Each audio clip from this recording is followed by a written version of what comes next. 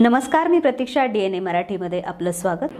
अहमदनगर जिल्ह्याच्या शेवगाव तालुक्यातील बोधेगाव येथील रहिवाशी असलेल्या महिला शेतकरी सोफिया फिरोज शेख यांची बालम टाकळी येथे असणाऱ्या गट नंबर एकशे पस्तीसमधील दीड एकर शेतीमध्ये कपाशी व तूर पिकाची लागवड करून हे पीक मोठी झाल्यानं सोफिया फिरोज शेख व त्यांचे पती फिरोज शेख हे दोघे शनिवारी दिनांक एकोणतीस जुलै रोजी दुपारी आपल्या शेतात खुरपण खुरपणी करत असताना अचानक सोफिया शेख यांची भावजई हुमेरा युनुस शेख राहणार अहमदनगर यांनी आम्हाला शेतामध्ये येऊन शिवेगाळ करत दीड एकर शेतीमधील उभे असलेले कपाशी व तुरीचे पीक हे आमच्या डोळ्यादेखत उपटून फेकून दिले असून यामुळे आमचं लाखो रुपयांचं नुकसान झालं आहे तूर पीक का उपटले अशी विचारणा केली असं त्यांनी मला लाथाबुक्क्यांनी मारहाण आणि जीवे मारण्याची धमकी दिली असून महिला शेतकरी सोफिया फिरोज शेख यांनी दिलेल्या फिर्यादीवरून हुमेरा युनुस शेख यांच्या विरोधात शेवगाव पोलीस विविध कलमान्वये गुन्हा दाखल करण्यात आला आहे.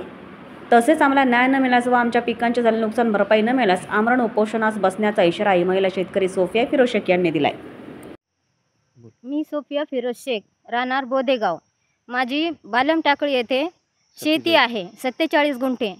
तिथे येऊन माझ्या भावाची बायकोने माझी सत्तेचाळीस गुंठेमधील माझी शेतीचं पूर्ण नुकसान केलं. माझं कपाशीचं आणि तुरीच्या पूर्ण पिकांची नाश केली आणि सगळं पीक उपटून तिने निघून गेली. त्यावेळेस मी इथंच होते आणि तिने माझ्यासमोर माझ्या पिकांची नुकसान करून निघून गेली आणि सगळ्या एक एकरचे नुकसान करून मी इथे खुरपत असताना माझ्यासमोर येऊन तिने शनिवारी एकोणतीस तारखेला साडेतीन वाजता तिने येऊन माझ्यासमोर माझ्या पिकांची नुकसान करून निघून गेली.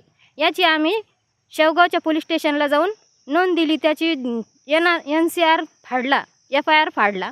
पण आमच्या विरुद्ध ते तिच्या विरुद्ध त्यांनी काही रिॲक्शन रिॲ ॲक्शन घेतली नसल्यामुळं मी आता उपोषणाला बसण्याचा इशारा देत आहे. माझी नुकसान भरपाई मला भेटावी आणि तिच्यावर कडक कारवाई व्हावी एवढीच माझं म्हणणं आहे. प्रतिनिधी Isaq Shaikh D N A Marathi Shevgaon.